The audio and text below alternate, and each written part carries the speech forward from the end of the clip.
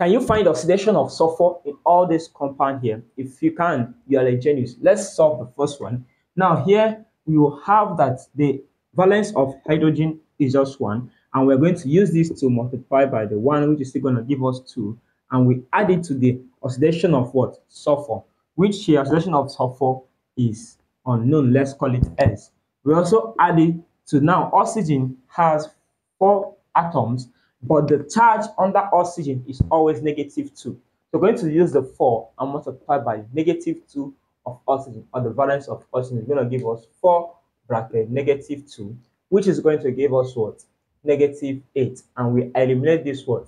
Positive sign here.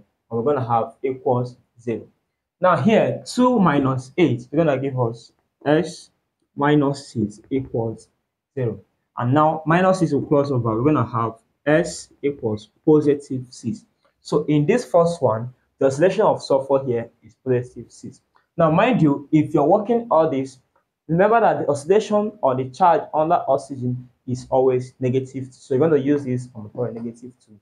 Let's know in the comment section. Don't forget to share this video so you're going to have more answer to this. Thank you.